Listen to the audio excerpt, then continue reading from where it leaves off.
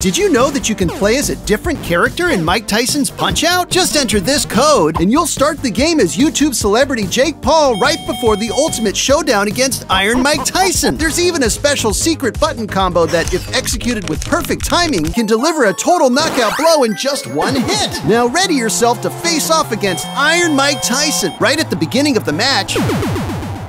Ooh.